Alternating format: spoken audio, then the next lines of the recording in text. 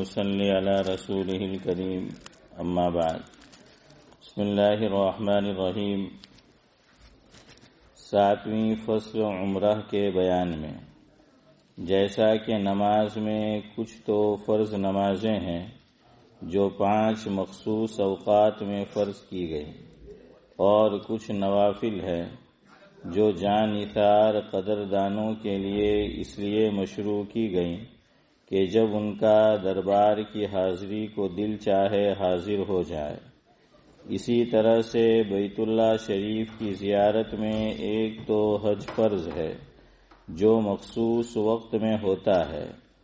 दूसरा उम्रा है जो साल भर में सिवाय पाँच दिन के, यानी नवी दिल हिज्जा से तेरह तक तो उम्रा करना मकरू है, कि ये हज का मखसूस वक्त है।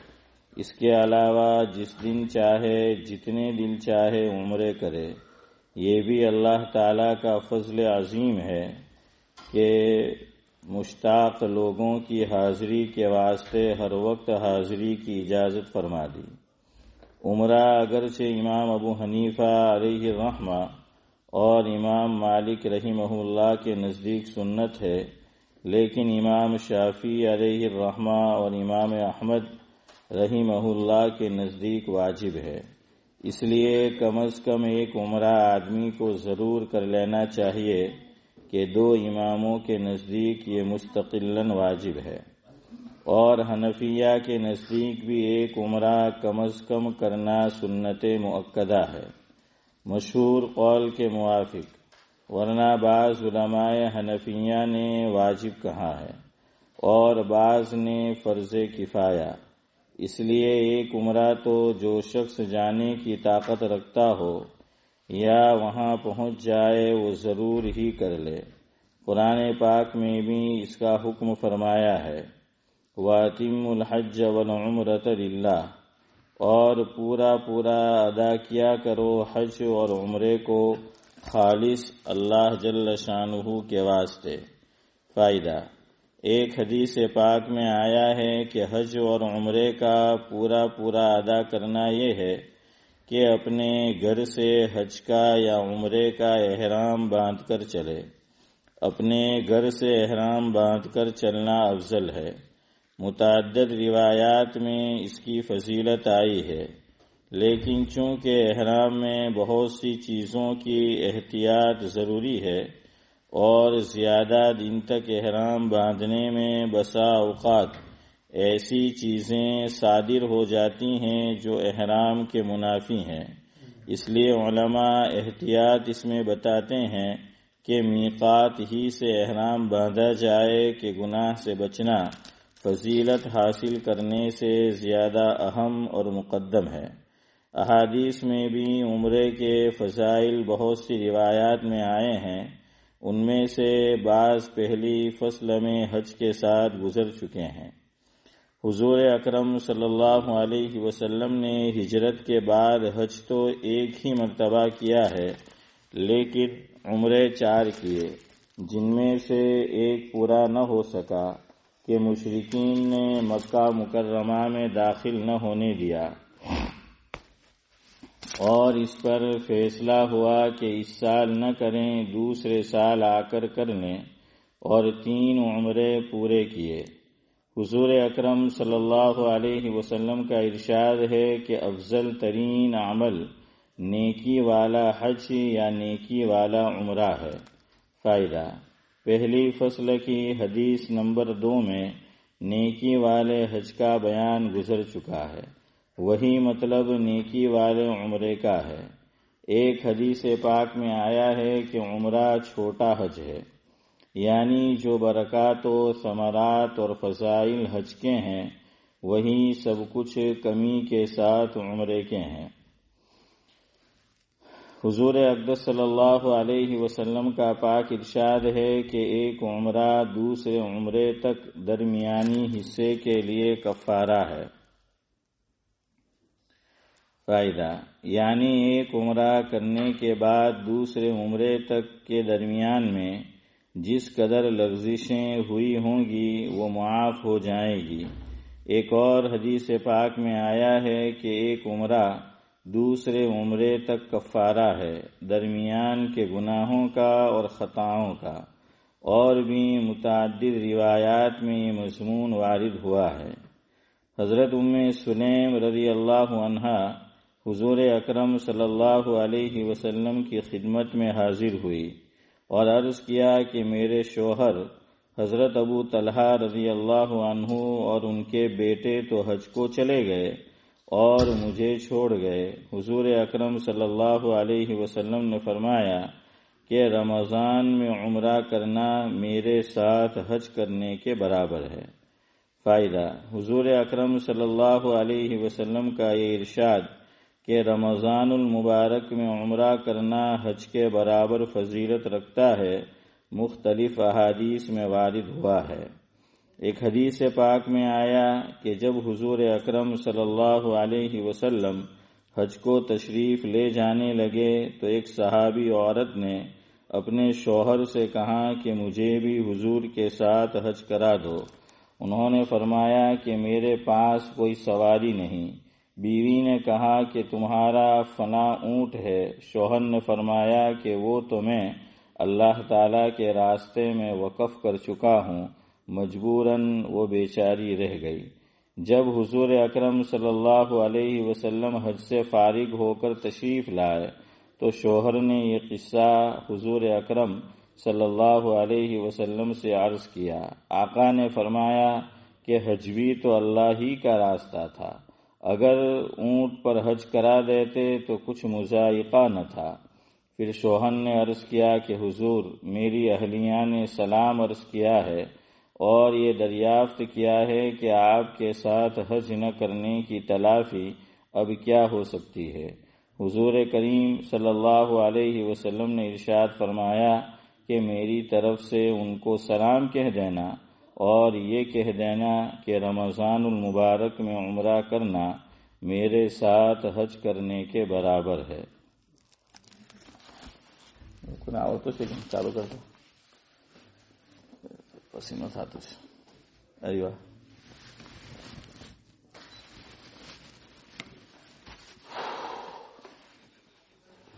ऊपर की ओर स्विच करो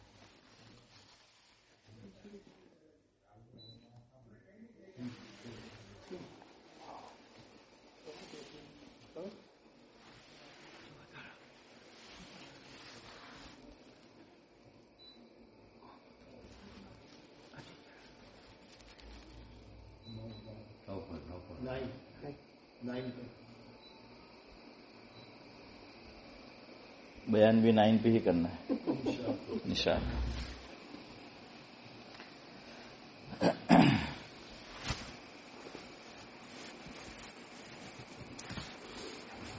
बुजुर्गान मोहतरम,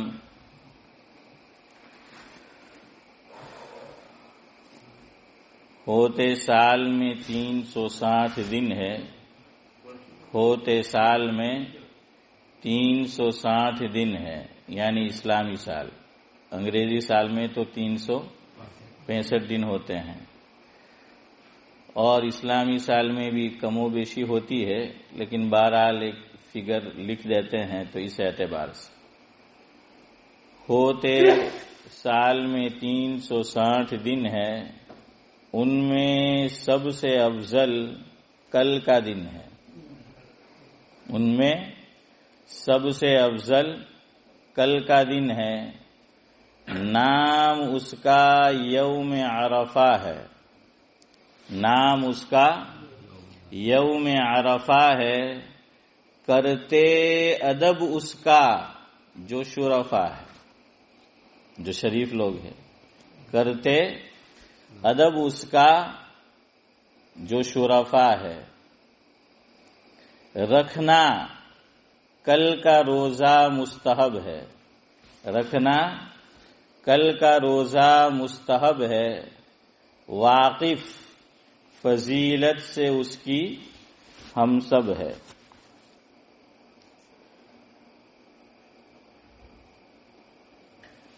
हो जाते उससे माफ़ दो साल के गुना है। हो जाते उससे माफ़ दो साल के गुना है। अमल मुख्तसर और सवाब बेपना है। अमल, मुख्तसर और सवाब बेपना है। लिहाजा कल के अमल की कदर कर लीजिए। लिहाजा कल के अमल की कदर कर लीजिए। हो गर मशक्कत तो सबर कर लीजिए। होगर मशक्कत तो सबर कर लीजिए। है मौका मुयसर गनीमत जान। है मौका मुयसर गनीमत जान। रख रे कल का रोजा, रख ले कल का रोजा, ए साहिब ईमान। रख ले कल का रोजा ये साहिब ईमान। सलाम खुद भी अमल का मोहताज है। सलाम खुद भी अमल का मोहताज है। हो उसे भी तोफी के अमल दुआ की दरखास्त है। तो बहरहाल अल्लाह तबारक व ताली मुझे और आपको, तमाम को इस पर अमल की तौफीक नसीब फरमाए। उस पर के जो बातें अभी पेश की जाएगी, उसका खुलासा मैंने आपको अशार की शक्ल में पेश कर दिया। कुछ बातें आज की मजलिस में जो कल का दिन है, उस ताल्लुक से आपकी खिदमत में पेश करनी है। कल का जो दिन है, उसके लिए लफ्ज इस्तेमाल होता है यौम आरफा क्या होता है? यौम आरफा और हदीस पाक में हज़रत अबू कतादा रज़ी अल्लाह तु रावी हैं। मुस्लिम शरीफ में रिवायत मौजूद है। हुजूर ने उसके लिए लफ्ज इस्तेमाल फरमाया है कि सियाम यौम आरफा यह खुद रिवायत में लफ्ज आया है। यौम आरफा का लफ्ज किसमें आया है?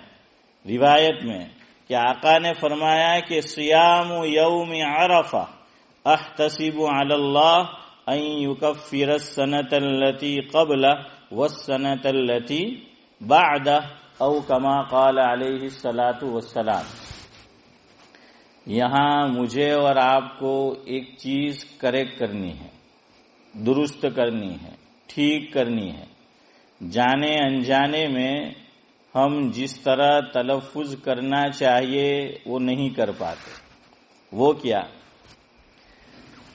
आराफा, रा पर फतहा और जबर पढ़ना है। बाज लोग रा पर सुकून पढ़ते हैं, जज्म पढ़ते हैं। क्या बोलते हैं? कि अरफा।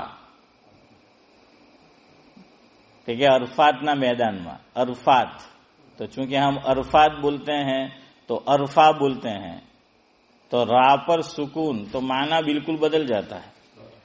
अरबी ज़ुबान हज़रत इमाम शाफी रहमा का मलफूज है, जिसका मफहूम यह है कि तमाम जुबानों की सरदार ये अरबी ज़ुबान और जो बादशाह होता है तो उनका मिजाज कैसा होता है? अरे बोलो, कैसा होता है? बड़ा नाजुक होता है। बादशाहों का मिजाज कैसा होता है? बड़ा नाजुक मिजाज होता है। तो ये ज़ुबान भी बादशाह है, लेकिन नजाकत वाली है। इसीलिए वो शाइन ने कहा है ना, कि खुदा जब हुस्न देता है तो नजाकत आ ही जाती है। देखा इसमाइल जैसा बोले। हैं? खुदा जब हुस्न देता है तो नजाकत आ ही जाती है। तो यहाँ भी अल्लाह तबारक शायर ने चाहे जिस किसी माने में कहा हो, हम वो माना मुराद नहीं लेते। हम यहाँ हुस्न से दूसरा हुस्न मुराद लेते हैं, वो औरत वाला हुस्न मुराद नहीं है हमारा। शायर का चाहे जो मुराद हो। बाज मरतबा इसलिए वो बदगुमानी भी हो जाती है। आदमी को जब तक पूरी बात न सुने, बदगुमानी हो जाती है। बड़े शायर गुजरे हैं और बड़े अल्लाह वाले भी। अकबर इलाहाबादी मरहूम, अल्लाह ताला मरहूम के दर्जात को बुलंद करे। हमारे खतीबुल उम्मत हज़रत मौलाना अबरार अहमद साहिब दुरियवी रहमतुल्लाह अलैहि से मैंने सुना। हज़रत फरमाते थे, मफहूम यह है कि अकबर इलाहाबादी गरचे उन्होंने दुनियावी फनून हासिल किए थे और आला दर्जे के किए थे। लेकिन उनकी जहनीयत दीनी थी और सिर्फ़ दीनी नहीं, बल्कि ठेठ दीनी जहनीयत थी। एक होता है कि दीनी जहनीयत, कि भाई दीनी मिजाज है, और एक उससे आगे कि ठेठ दीनी मिजाज। यानी दीनी मिजाज, बाज लोगों का होता है, लेकिन वो कुछ चीज़ें चला भी लेते हैं। लेकिन जिनका ठेठ दीनी मिजाज हो, वो शरीयत के खिलाफ कोई बात बर्दाश्त नहीं करते। वैसा मिजाज, ठीक, ठेठ दीनी, जिसको आजकल की ज़ुबान में कहा जाता है, कट्टरपंथी मुसलमान। कैसा मुसलमान? के आ तो आएँगे कट्टरपंथी मुसलमान छे। तो यही कट्टरपंथी, ठेठ का माना क्या? कट्टरपंथी। तो अकबर अंग्रेज़ का जमाना है। आला ओहदे पर फाइज है। आला दर्जे की तालीम हासिल की है। ये जो साहिब बैठे हैं, मैं नाम नहीं लेता। इन्होंने भी माशाल्लाह आला तालीम हासिल की है। गरचे वो इसको पसंद नहीं करेंगे ये बात, लेकिन मुझे मालूम है। हाँ अल्लाह ने इनको भी बड़ा नवाजा। तो बहरहाल, लेकिन आप देखिए जहनीत माशाल्लाह दीनी है तो ये अल्लाह का फजल होता है। डॉक्टर जाकिर हुसैन हैं? क्या थे इंडिया के? हाँ प्रेसिडेंट थे, लेकिन जहनीत दीनी थी। तो ऐसी मिसालें मिलती है। और उसका उल्टा भी आलिम बन गया है। पूरा निसाब पढ़ा मदरसे के अंदर। लेकिन वो दीनी मिजाज नहीं आया जो एक आम मुसलमान का है, तबलीग में लगकर है। खानकाह में जाकर है, उससे बढ़कर वो होता है। तो ये चीज़ें भी हमने देखी है, आपने भी देखी होगी। सनद मौजूद है, इतने साल मदारिस में लगा है, लेकिन जहनीत दीनी नहीं बनी। बहरहाल तो अकबर मरहूम मैं ये कह रहा था कि उनकी जहनीत क्या थी? ठेठ दीनी जहनीत थी। पता नहीं किस पे बात चली, किस पे चली? हाँ? हाँ हुस्न जजाकल्ला के तो अकबर इलाहाबादी, उन्होंने दीन की बहुत सारी बातें अशार में पेश की है, मंजूम, और बड़ी अच्छी बातें उन्होंने रखी है। तो एक दिन एक जगह मुशायरा हो रहा था, कई शुआरा स्टेज पर जमा थे, उसमें एक आलिम भी थे। उनको भी मुशायरा का शौक था, शायर थे, वो भी मौजूद थे। तो अकबर ने शेर पढ़ा,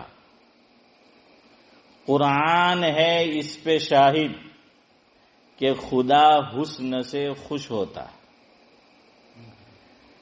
तो वो जो आलिम थे, हैं, वो एकदम जज्बात में आ गए, गुस्से में आ गए। तो वो मैंने कहा ने कि खुदा हुस्न देता है तो नजाकत आ ही जाती है। तो यहाँ हुस्न का जो मतलब बाज लोग समझते हैं तो उन्होंने भी यही समझा कि अकबर जो है, ये क्या बात कर रहे हैं? कि कुरान है इस पे शाहिद कि खुदा हुस्न से खुश होता है। तो शुआरा की आदत होती है, आपने देखा होगा, वो जब शेर पढ़ेंगे, इधर भी देखेंगे, सामने भी देखेंगे, अली भाई जिधर बैठे हैं, उस तरफ़ भी देखेंगे, है ना? शुआरा लोग करते हैं ना? तो यूँ देखा उन्होंने, स्टेज पे जो लोग थे तो वो देख लिया। कि मेरा ये जो पहला मिसरा है, शहर का जो मैंने कहा तो वो साहिब बड़े तिल मिला रहे हैं, गुस्से में है, चेहरा सुर्ख हो गया है और कहते हैं कि चेहरा दिल का आईना होता है। तो वो समझ गए। तो फिर अकबर ने अब मजीद उनकी तरफ़ मुड़े और यूँ कहा, कुरान है इस पे शाहिद कि खुदा हुस्न से खुश होता है, मगर किस हुस्न से? हुस्न अमल से। हैं? हाँ अगर आप बात समझे होते तो आपको बड़ा लुत्फ आता। बहुत अच्छी बात कही है। कुरान का तर्जमा किया है आयत का। सूर्य तबारक लजी उसमें अल्लाह रब्बुल इज़्ज़त ने फरमाया कि अल्लजी खलकल मौत वल हयात लियबलुवकुम अय्युकुम अहसनु अमला। यही इसी का तर्जमा किया है अकबर ने। लेकिन देखिए, पहला मिसरा जब पढ़ा तो मैंने कहा, नहीं, इसलिए एकदम से जज्बात में नहीं आ जाने एकदम से बदगुमानी नहीं कर लेने की, जब तक बात पूरी न हो जाए। तो बहरहाल अकबर ने क्या कहा कि, कुरान है इस पे शाहिद कि खुदा हुस्न से खुश होता है, मगर किस हुस्न से? हुस्न अमल से। जाकिर भाई, अभी भी गाड़ी पटरी पे नहीं आ रही। क्या कहना चाहते? हाँ अरबी ज़ुबान, याद आया। अरबी ज़ुबान। मैं ये कह रहा था कि हज़रत इमाम शाफी रहमा का मलफूज है कि अरबी ज़ुबान तमाम जुबानों की सरदार है। इसीलिए जो किताब तमाम आसमानी किताबों की सरदार है, वो कौन सी है? कुरान करीम है। इसीलिए अल्लाह रब्बुल इज़्ज़त ने कुरान करीम को कौन सी ज़ुबान में इस्माइल चचा नाजिर फरमाया? अरबी ज़ुबान में। ये खुद कुरान कह रहा है, हाफिज यूसुफ, सुरह यूसुफ में फरमाया कि इन्ना अनजल्लाहु कुरान अरबिया। तो ये तमाम जुबानों की जो है वो सरदार है, इसलिए याद रखो, इसमें जरा सा इधर उधर पेंच हो जाएगा तो माना कुछ का कुछ हो जाएगा।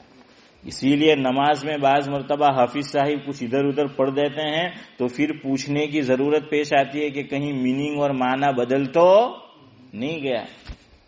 जबर का पेश कर दो, पेश का जबर कर दो।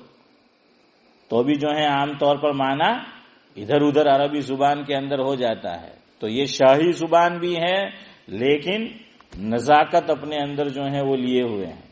इसीलिए उलमा ने लिखा है कि कोई आदमी सूर्य फातिहा में इस जगह जान बूझकर ऐसा पढ़ता है। एक तो गलती से पढ़ दे, वो मसला अलग है। लेकिन जान बूझ के पढ़ेगा तो फरमाया ईमान से निकल जाएगा सुरह फातिहा में। कौन सी आयत? सुनो। कि इह दिन सिरातल मुस्तकीम। सिरातल्लज़ीन अन्अमत अलैहिम। तो तापे क्या है? जबर है ना? सिरातल्लज़ीन अलैहिम। तो तापे फथा है, जबर है। लेकिन अगर कोई जानबूझ के यूँ पढ़े कि सिरातल्लज़ीन अन्अमतु अलैहिम। हनीफ भाई क्या पढ़ दिया? जबर की जगह पेश पढ़ दिया। ईमान से निकल जाएगा, माना कुछ का कुछ हो जाता है। हाँ ये इतनी नाजुक जो है वो ज़ुबान है। है शाही ज़ुबान, लेकिन इतनी नाजुक ज़ुबान कि आदमी जानबूझकर पढ़े तो दायरे ईमान से बाहर हो जाता है। तो मैं आपको ये समझा रहा इसकी ऐसी मैं कई मिसालें आपको दे सकता हूँ, लेकिन वक्त नहीं है। तो याद रखो, इसको अरफा नहीं बोलना है। क्या बोलना है? अरफा। रा पर आरिफ भाई क्या आएगा? है? फथा आएगा, जबर आएगा। अगर रा पे हमने जज्म पढ़ दिया, सुकून पढ़ दिया तो माना देखे। अरफा। अरफा कहते हैं अरबी ज़ुबान में, वही आइन है, वही रा है, वही फा है, वही छोटी हा है, लेकिन रा पर जबर की जगह सुकून पड़ दिया तो उसका माना हो जाता है हथेली का जख्म। क्या हो जाता है? अरफा का माना क्या हो जाता है? हथेली का जख्म। और अरफा रा के ऊपर जबर पढ़ेंगे। तो अरफा अरफा का एक माना लिखा है, अतिया, बख्शिश, गिफ्ट। चूँकि अल्लाह तबारक व ताला हदीस पाक में है, जिसका मफहम यह है, जितने लोगों को अरफा के दिन में जहन्नम से आज़ाद करता है, इस दिन में उतना किसी और दिन में नहीं करता। तो इसलिए इसका एक नाम क्या हो गया? अरफा। दूसरी वजह उलमा ने ये लिखी कि हज़रत जबरील सलात वसलाम तशरीफ़ लाए। और जलील कद्र पैगंबर हज़रत इब्राहिम सलात वसलाम को हज के मनासिक सिखाए। क्या सिखाए? हज का तरीका सिखाया कि तवाफ कैसे करना है सही कैसे करनी है, रमी कैसे करनी है, कुर्बानी कैसे करनी है हलक कैसे करना है? ये तमाम बातें हज़रत जिबरील अमीन ने अलैहि सलात वसलाम किसको सिखाई? हज़रत इब्राहिम अलैहि सलात वसलाम को सिखाई। और सवाल किया फिर हज़रत जिबरील अमीन ने। कशाफ ने ये बात लिखी है। और फतावा दावलूम बन्नोरी जो है बन्नोरी टाउन, कराची में, उसमें भी ये बात है। तो जब ये तमाम अरकान सिखा दिए, जबरील अमीन ने हज़रत इब्राहिम सलात सलाम को तो आखिर में सवाल किया अरफ्ता और ये भी लिखा है कि अ की जगह, हल आरफ्ता? क्या माना? कि जो कुछ मैंने तुमको सिखाया, क्या तुमको समझ आ गया? मैंने जो कुछ तुमको सिखाया, तुम समझ गए, तुम पहचान गए। आरिफ का माना वैसे पहचानना है, समझना भी होता है। है आरिफ भाई? तो पहचान गए, समझ गए तो जवाब में हज़रत इब्राहिम अलैहि सलात सलाम ने फरमाया, नाम अरफ तू नाम अरफ तू जी। आपने जो मुझे सिखाया तवाफ कैसे करना, सही कैसे करनी, रमी कैसे करनी, और नहर ये कैसे करना, और दीगर चीज़ें, तमाम चीज़ें मैं सीख गया हूँ। तो लफ्ज क्या आया? आराफा। तो इसलिए इसका नाम क्या हो गया? अरे बोलो यार। आराफा ये हो गया इसका नाम, इस वजह से। और भी वजूहत है, लेकिन अभी उसका वक्त जो है वो नहीं है। वरना मैं बताता कि भाई इस दिन और क्या क्या चीज़ें जो है वो पेश आई। और हुजूर से पूछा सल्लल्लाहु अलैहि वसल्लम कि, हज़रत, आप ये बता दीजिए कि हज किसका नाम है? हुजूर से क्या सवाल हुआ? कि, आप जरा ये बता दीजिए कि हज किसका नाम है? तो हुजूर ने जवाब में दो जुमले कहे, बस सिर्फ़ दो जुमले। हुजूर सल्लल्लाहु अलैहि वसल्लम ने जवाब में मिर्ज़ा साहिब फरमाया, अल हजू अल आरफा। हज किसका नाम है? देखिए, आराफा का नाम। अब नूरानी भाई सोच रहे होंगे कि अरफा का नाम है तो फिर मीना काय को जाने का ने? जो है, वो अरफा में काय को जाने का? तो वो काय को जाने का, वो आपको बताते हैं, है जाकिर भाई? कि फिर क्यों जाने का वहाँ पे? तो मतलब यहाँ पर यह है कि हज का अहम रुकन, या यूँ कह लीजिए कि रुकन आज़म, रुकने आज़म हज का सबसे अजीम रुकन, कि जिसकी फिर कोई तलाफी नहीं है। तवाफ छूट गया, तलाफी है। रमी छूट गई, तलाफी है। मुजदलिफा का वकूफ छूट गया, तलाफी है। तवाफ जियारत छूट गया तलाफी है। कुर्बानी छूट गई तलाफी है। एक ही अमल हज में ऐसा है कि जिसकी कोई तलाफी नहीं है। इसलिए इसको कहा गया रुकन आज़म। लेकिन अल्लाह ताला की इनायत देखिए कि जो रुकन, रुकने आज़म है हज के अंदर, उसमें इंतहाई दर्जे की सहूलत दे दी। इंतहाई दर्जे की आसानी दे दी। दो आसानियाँ, बतौर खास, आपके सामने ज़िक्र करता हूँ कि अल्लाह ताला ने दो बड़ी आसानियाँ अरफा के अंदर दे दी। नंबर एक अरफा में, हज में सिर्फ़ एक घड़ी वहाँ क्याम करना एक घड़ी, एक मिनट भी नहीं है, मिनट फिर अलग है। एक घड़ी, ये घड़ी नहीं समझ आया? घड़ी समझते हैं ना? हाँ तो एक घड़ी अगर जो है चौधरी साहब क्याम कर लिया तो हज हो जाएगा। दूसरे जो अरकान है, वो रह गए, उसकी तलाफी है शरीयत के अंदर। इसीलिए सऊदी गवर्नमेंट ये करती है। पहले करती थी, अब मुझे नहीं पता, अभी करती है कि नहीं? करती होगी अभी भी। कि बीमारी और सेहत तो है हसीम भाई, हमारे हाथ में है नहीं। कि कब आदमी बीमार हो जाए, कब अल्लाह ताला बीमारी से सेहत दे दे, शिफा दे दे। तो बाज लोग बेचारे हज में जाते हैं और सईद भाई क्या होता है? बीमार हो जाते हैं। और ऐसे बीमार के अस्पताल में पड़े हैं, अब अरफात में जा नहीं सकते, अरफा के मैदान में। तो गवर्नमेंट चार्टर फ़्लाइट का इंतज़ाम करती है। और मैंने अपने बुज़ुर्गों से सुना कि वो जो बीमार इमरजेंसी में ले जाते, क्या बोलते हैं उसको जो सुलाते हैं? हाँ स्ट्रेचर हाँ तो उसके ऊपर जो है, वो उनको रखा जाता है, अगर ताकत नहीं है, इतनी भी है तो सुलाकर वो उनको अंदर रखा जाता है। और ये भी याद रखिए कि फिजा में, अल्लाह अकबर, अल्लाह का करम देखे, कि फिजा में, आराफात का जो मैदान है, फिजा ही फिजा में उनको रखा, मुअल्लक और गुजर गए, तब भी ये रुकन अदा हो गया। ज़मीन पे पाँव मारने की पाँव रखने की ज़रूरत नहीं है अगर ताकत न हो बीमारी हो तो बस थोड़ी देर वो फिजा में मुअल्लक रहेगा चार्टर जो फ़्लाइट है, है और फिर उनको वापस अस्पताल में और अपने कमरे में वो भेज दिया जाएगा। तो अब आप किसी भी मुफ्ती साहब से पूछे कि भाई इसका वकूफ आरफा अदा हुआ कि नहीं हुआ तो वो आपको जवाब में क्या कहेंगे? अदा हो गया। ये एक आसानी इतनी बड़ी। दूसरी आसानी। अब जवाब आपको देना है ताकि मेरा जवाब फिर या, या कह लीजिए मेरी बात आपको अच्छी तरह समझ में आ जाए। दिन कब शुरू होता है और कब खत्म होता है? मगरिब के दिन खत्म हो जाता है ना?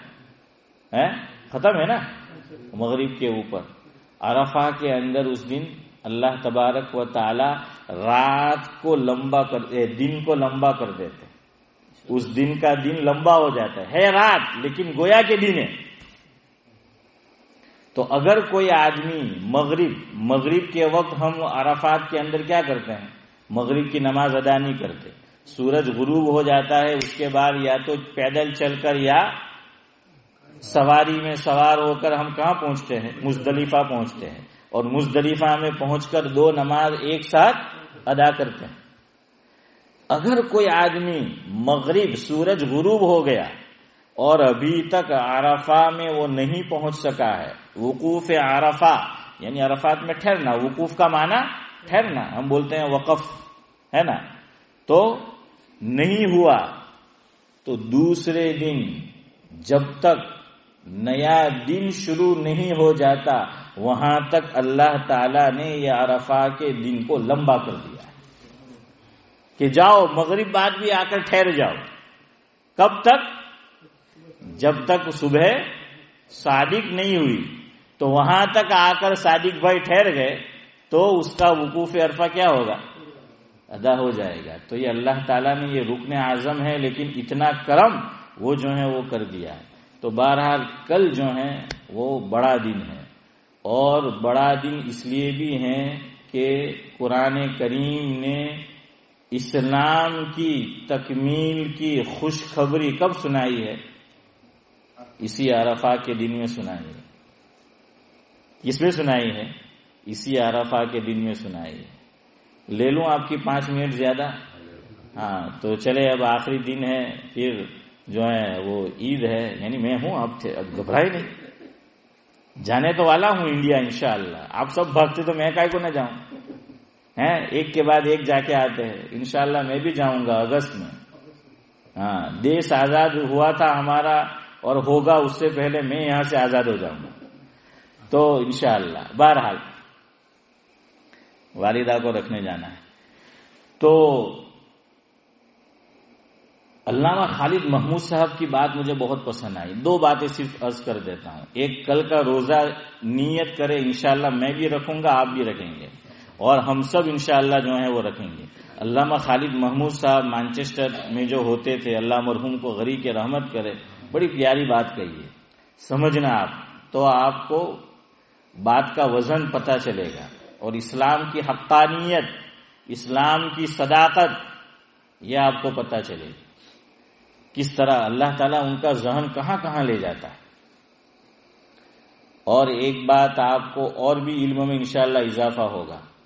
तो मैंने अभी एक बात ये बताई आपको कि कुरान करीम ने छठे पारे में, सूरह माइदा में ये मुजदा और खुशखबरी सुनाई। कि अलियम अकमलतु लकुम दीनकुम। व अतममतु अलैकुम निअमती व रदीतु लकुमुल इस्लाम के मफहूम ये कि आज हमने तुम्हारे दीन को तुम्हारे लिए क्या कर दिया मुकम्मल कर दिया कंप्लीट कर दिया और अल्लाह ताला राज़ी हुआ तुम्हारे लिए कि इंतखाब कर लिया मुंतखब दीन इस्लाम को तो एक साहिब आए जो किसी और मज़हब से ताल्लुक रखते थे, हज़रत उमर अली अल्लाह तु से फरमाया, कि उमर, मफहूम है, तुम्हारे कुरान में, तुम्हारी किताब में एक आयत ऐसी है कि अगर वो हमारे नबी पर, हमारे मज़हब में नाजिल होती, हम उसको ईद का दिन मनाते, सेलिब्रेट करते हैं तो हज़रत उमर रदी अल्लाह तला ने पूछा कि कौन सी आयत है? तो उसने यही, अलियम अकमल तो लकुम दीन अकुम आत्मम तो इला आखिरी। हज़रत उमर रदी अल्लाह तला ने फरमाया, तू ईद की बात करता है कि हम सेलिब्रेट करते, ईद मनाते। हमारे यहाँ जब ये आयत नाजिल हुई, एक नहीं दो दो ईद जमा थी। कितनी जमा थी? चौधरी साहब, के दो दो ईद जो है हमारे यहाँ जमा थी। वो कैसे? अल्लाह अकबर। ये बात मैं आज बयान कर रहा हूँ, वैसी ही बात इस साल पेश आ रही है। कल कौन सा दिन है? बोले जल्दी जल्दी जुमा का दिन है। और कल अरफा भी है, हैं? नवी जिल हिज्जा भी है। हुजूर अकरम सल्लल्लाहु अलैहि वसल्लम ने जो हज किया है, नबी बनने के बाद, नबूवत के बाद, सिर्फ़ एक हज किया है। तो जब हुजूर ने हज किया तो उस वक्त अराफा जुमा का दिन था। तो इस साल जो हाजी हज करेंगे, बड़ी किस्मत वाले। हैं? वैसे ये बात जिस माने में हम समझते हैं, वो दुरुस्त नहीं है।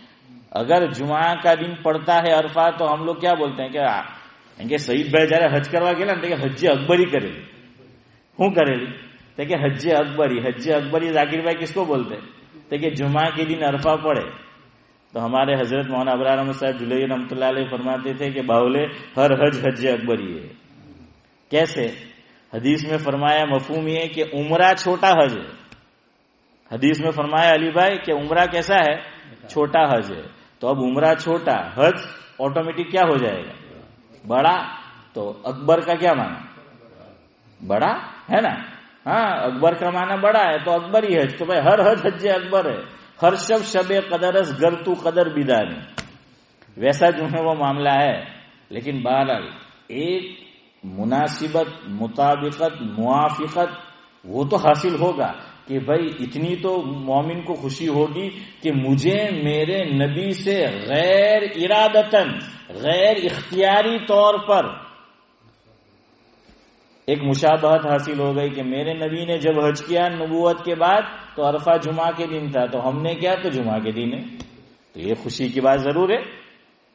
तो हज़रत उमर ने यह फरमाया। दूसरा हदीस पाक में फरमाया, मफहूम यह है कि हमारे यहाँ एक दो ईद सालाना होती है। साल में एक मरतबा, एक एक दोनों ईद।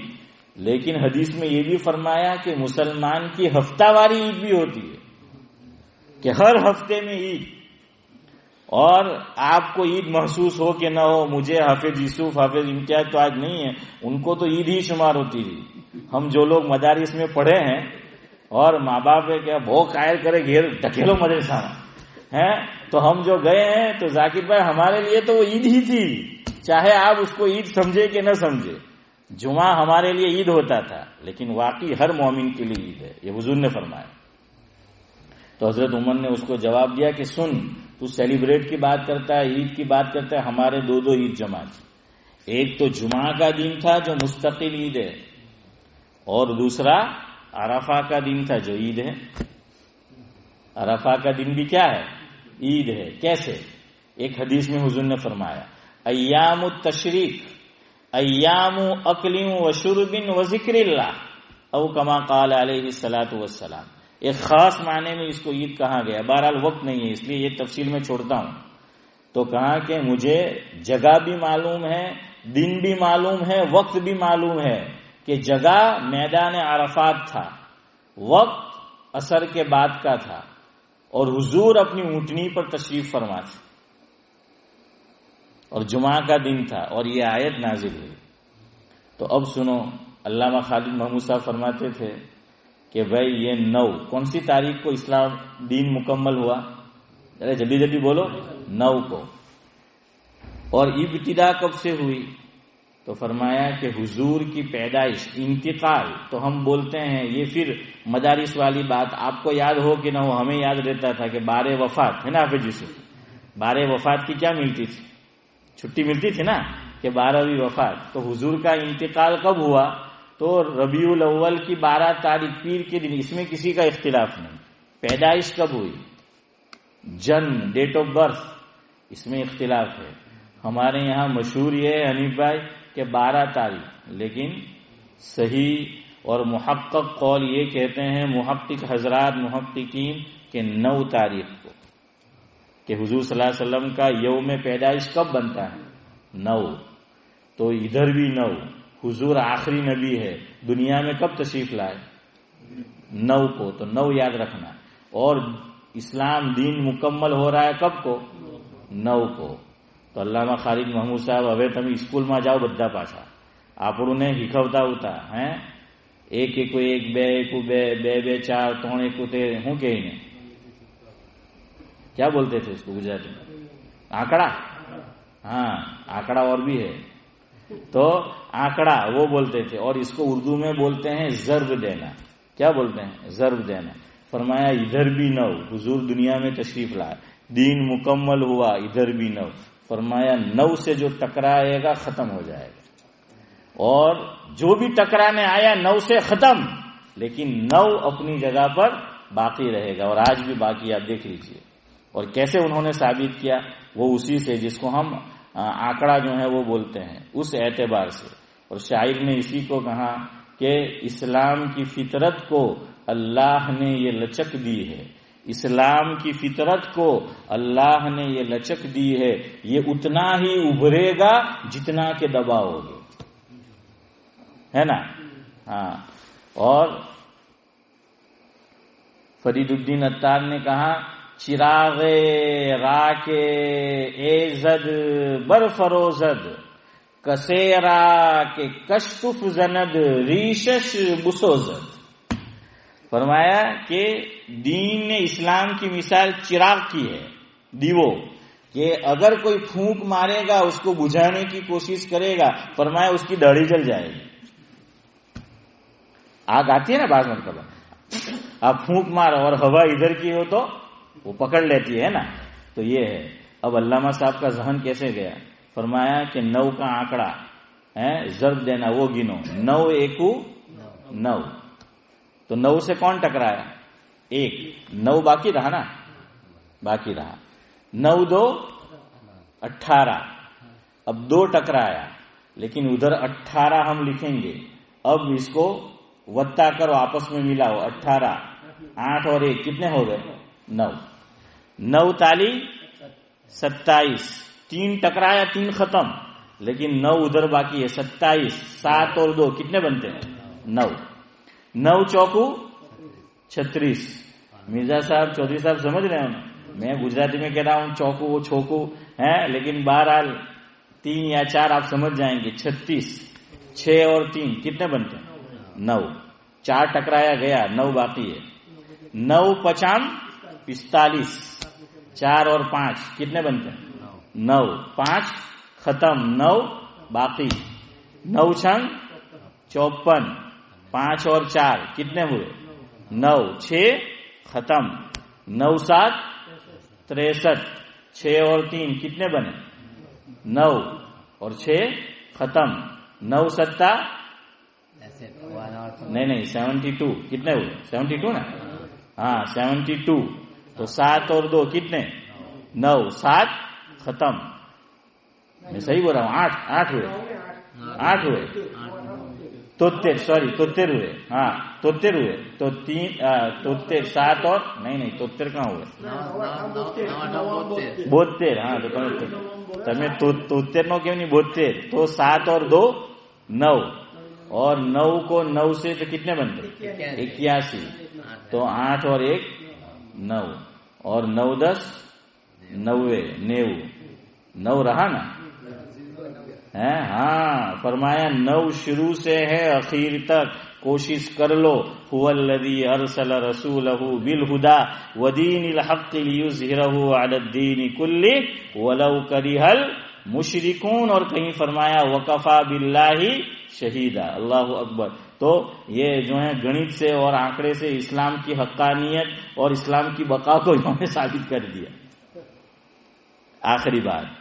कल के रोज़े का एक बेनिफिट तो आपने सुन लिया, दो साल के गुना माफ़। लेकिन हज़रत शेखुल हदीस, मौलाना मोहम्मद जकरिया साहिब नवर अल्लाह फरमाते थे, मफहूम ये एक बात सुनो, ये हदीस की बात नहीं है।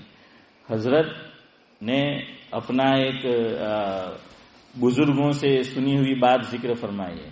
फरमाया कि जो मुसलमान मफहूम है, मैं फिर कहता हूँ, ये हदीस की बात नहीं है। ये हज़रत ने अपने तौर से एक तजिया किया, एक बात कही, आपको दिल को लगे तो अमल करो, न लगे तो मत करो। फरमाया कि जो मुसलमान अरफा का रोजा रखेगा इनशाला नेक्स्ट वन ईयर लाइफ की गारंटी है। हैं? एक रोजा रखो चौधरी साहब और एक साल का लाइफ इंश्योरेंस ले लो।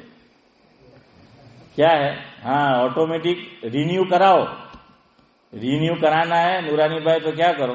कल का रोजा रखो। तो फरमाया इंशाला अगले एक साल तक तुम ज़िंदा रहोगे। कैसे?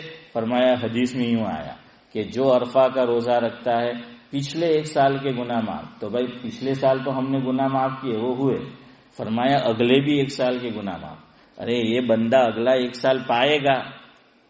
और होना ही है, हुक्म उदूली तो अल्लाह बचाए जानबूझकर करने से। तो एक साल के गुना माफ गोया ये बताया कि तुम रोजा रखोगे तो आइंदा साल भी तुम मजीद क्या रहोगे जिंदा जो है वो रहोगे समझ आया आपको दिल को लगे बात तो अमल करो और न लगे तो मत करो बहरहाल एक बात आपको बता दी अब आपके जहन में एक सवाल पैदा हो सकता है मोल साहब अभी રીતના तो कोई माणा अरफानो दर वर्षे रोजो राखे तो मरे ज नहीं है अभी भाई तो के तो मरसे ज नहीं एम के तो बहरहाल इसका भी जवाब है, लेकिन अब घड़ी नौ पैंतालीस बजा रही है उसका कोई जवाब नहीं।